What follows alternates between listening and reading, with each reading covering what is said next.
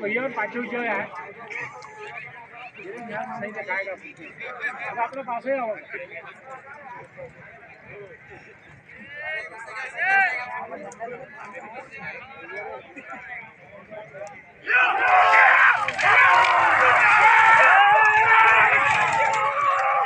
আউট যাবি